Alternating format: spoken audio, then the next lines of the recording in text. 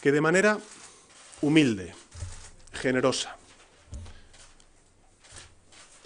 con toda la complejidad y con toda la dificultad que el escenario político contempla, empecemos una ronda de consultas con el resto de formaciones políticas para ver qué solución entre todos encontramos al fracaso de la investidura del señor Rajoy y al atasco político consecuencia de ese fracaso.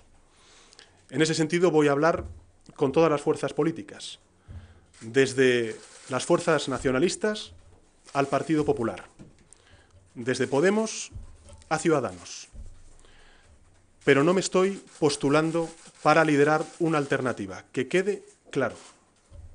Soy muy consciente de la complejidad del momento actual, soy muy consciente de que los españoles están cansados de ver a sus representantes a través de ruedas de prensa, de aperturas de comisiones de negociación.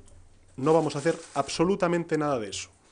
Abriremos una ronda de contactos con los líderes de todas las fuerzas políticas, insisto, también del Partido Popular, para saber exactamente qué solución podemos encontrar entre todos los partidos políticos al fracaso de la investidura de Mariano Rajoy y también una salida de este atasco que ha provocado ese fracaso.